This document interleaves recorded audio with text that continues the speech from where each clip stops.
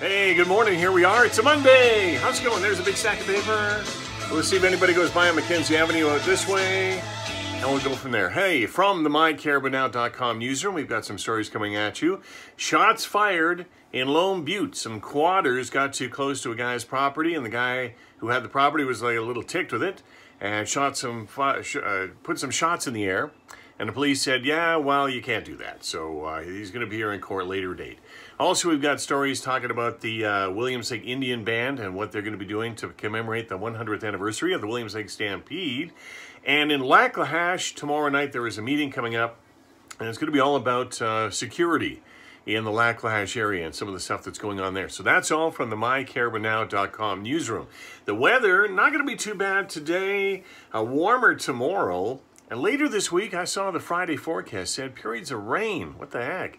Well, let's see what happens. We still got several days before we get there.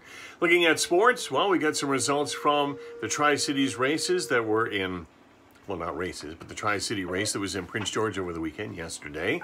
Also, we're checking in on some weightlifters from Quesnel and also what else are we? Oh, we got a group page going out here. Okay, so we got uh, some other sports coming your way, and that's what's going on for a Monday. Is I've got to go.